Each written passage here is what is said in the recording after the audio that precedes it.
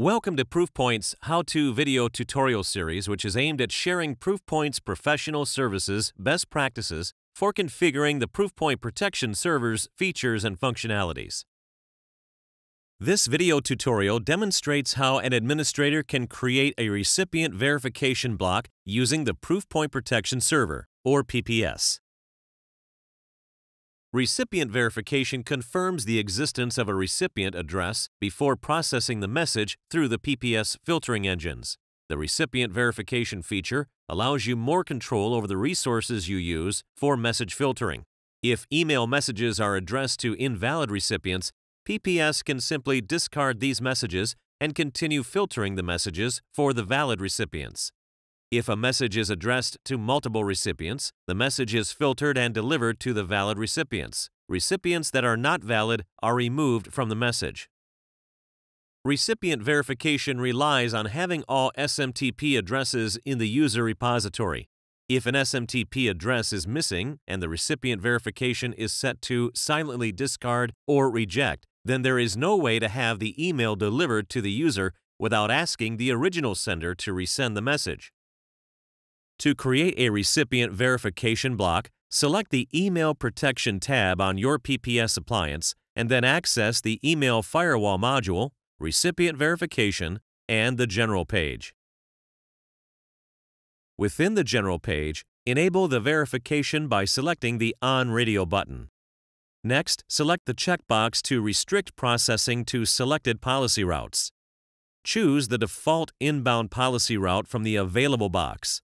Then, click the double arrows to move the policy to the Require Any of box.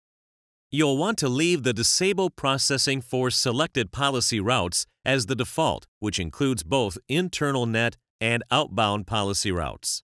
Check the message with a 550 user unknown return code and text.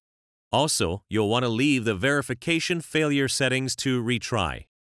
Afterwards, be sure to select the Save Changes button at the top of the screen. Select the Verification Profile page and make sure that the default Profile ID checkbox is enabled.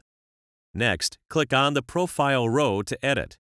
Select the Verify Recipients for Specific Domains radio button and enter all inbound domains. Leave the Data Connector set to User Repository and then select the Save Changes button.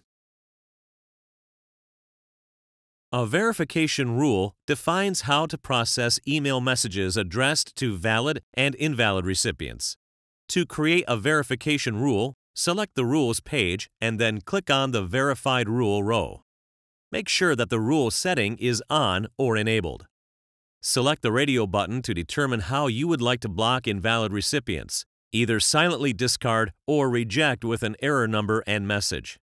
In this case, we will select the Reject the Message radio button. In return, the invalid recipient will receive a 550 number code along with a user unknown return message. Once finished, click the Save Changes button at the top of the screen. You have now established a recipient verification block within PPS. Thank you for watching our brief how-to video tutorial on how an administrator can create a recipient verification block in the PPS appliance. For additional information on our products, visit our knowledge base at https colon forward slash forward slash kb.proofpoint.com.